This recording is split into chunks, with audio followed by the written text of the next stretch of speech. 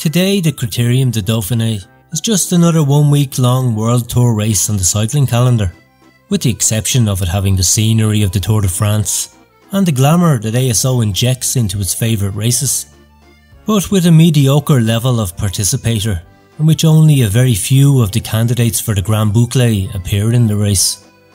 However, some 20 years ago, it was the great test bed for the Tour where the riders prepared with the best medication in the world on the toughest roads on the planet. The edition where we saw the most fireworks was the hilarious 2004 Dauphiné, where after a hesitant 2003 Tour de France, it looked like Lance Armstrong was going into decline and would never win again in Paris. However, a month and a half later, Lance once again raised his arms on the Champs Elysees do you want to know how that triumph was forged? Without further ado, let the show begin. Lance Armstrong faced the 2004 season with some doubts. That year, which saw the start of legal proceedings against him because of suspicions about his crushing victories in the Tour de France, he had only one stage win in the victory column. At the Tour de Georgia, against the likes of Cesar Augusto Grajales, Scott Moninger, and the legendary McRib Fantastic Christopher Horner. That was more than just a competition. A bath of masses in honour and grace of the US postal rider, who had not yet faced any major rivals that season before the Criterium de Dauphiné. In addition to the problems he had in the 2003 Tour de France, which had it not been for a crash by Jan Ullrich in the last time trial in Nantes, the result could have been tremendously close. Fortunately for Lance, the German was no longer a problem for him in 2004, as he had returned to Telekom, and with it, its diet of beer and greasy foods that made him a paid megalodon on the bike. But in that Dauphiné, more rivals would appear. Of them all, the one Armstrong was most worried about was undoubtedly his former teammate, Tyler Hamilton, who the year before had put in some remarkable displays in the Tour Mountains with a broken collarbone, and perfectly good blood bags that had given him miraculous climbing abilities, even more so than in his US postal years. LA had Hamilton perfectly under control, a man who was far from being an alpha male like the Texan, and with a weaker mentality, and certainly less of a bully than the then four time Tour de France winner. But he didn't have such a grip on the dangerous Phonak team for which he had signed that season a Swiss licensed outfit, but de facto controlled by the Spanish doctor, Eufemiano Fuentes, who had several of his VIP clients, like the Buffalo Jose Enrique Gutierrez, the guy who had mistaken his blood bag for one of those of Santiago Perez, and the ever young Oscar Sevilla in his ranks. No doubt, Fuentes was a worthy rival to Michele Ferrari, and those potential medical advantages baffled Sheryl Crow's then boyfriend. Another equally dangerous rival was Spanish climber Iban Mayo, who unlike the Phonaks had a team willing to work 100% for him. He had finished second in the Liège-Bastogne-Liège, just behind Tyler Hamilton in 2003, and was especially scary after his magnificent Tour de France, where although he finished 6th overall due to his poor time trial skills, he had been the best climber, winning on Alpe d'Huez and attacking in many of the high mountain stages. Euskaltel's preparation at the hands of Dr. Jesus Losa was absolutely enviable and on a par with those of Ufe Fuentes, which, coupled with Mayo's Marco Pantani like character in racing, alarmed Armstrong greatly. And in part, he was right to be alarmed.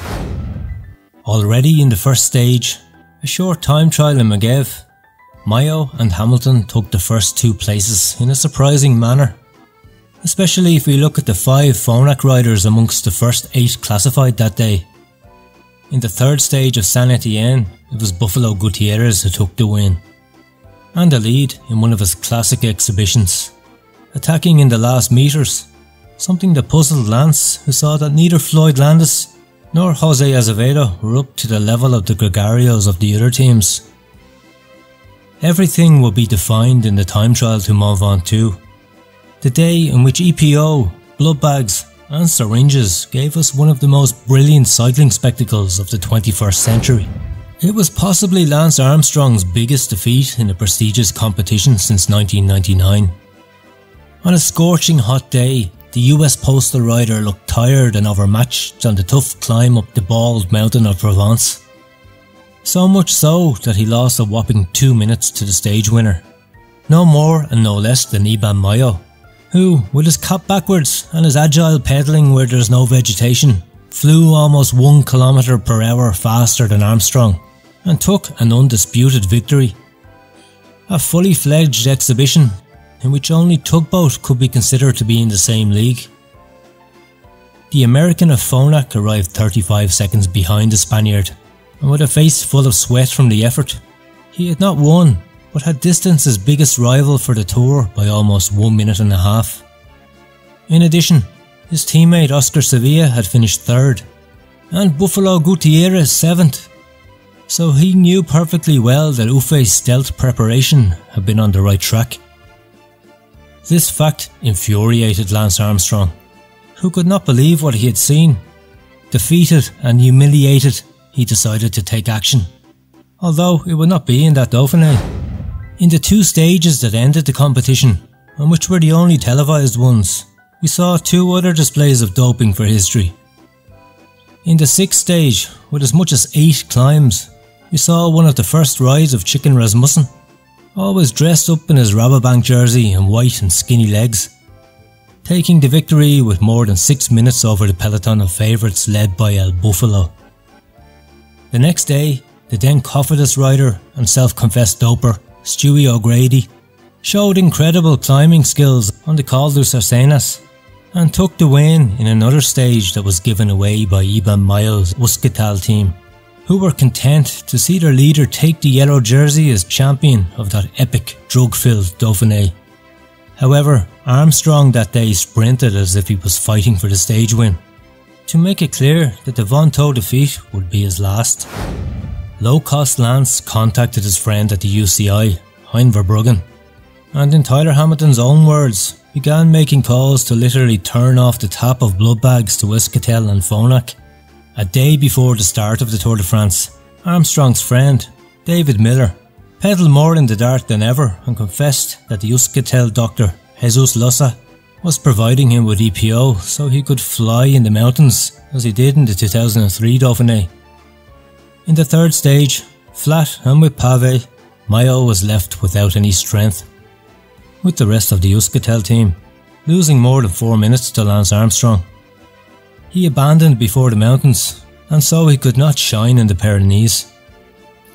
The official excuse was that he had caught a virus. The virus have not been able to have the best EPO in the market, in reality. More creepy was what happened to Tyler Hamilton.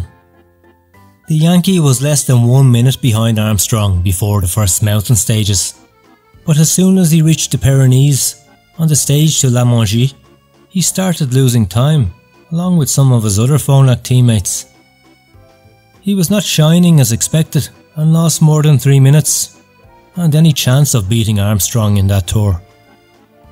But worse was what happened to him the next day on the road to Plateau de Beille.